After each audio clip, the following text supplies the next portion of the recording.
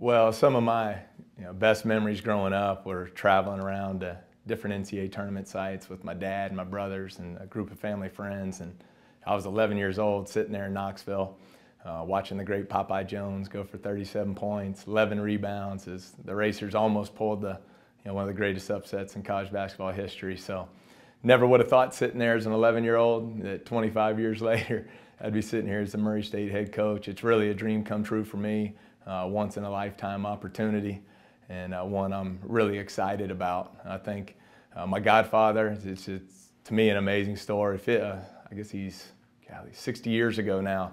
He played at Murray State on the 1955 team, and I've been giving him a hard time these last couple years because growing up, he always told me how he averaged 20 points a game and was this great player.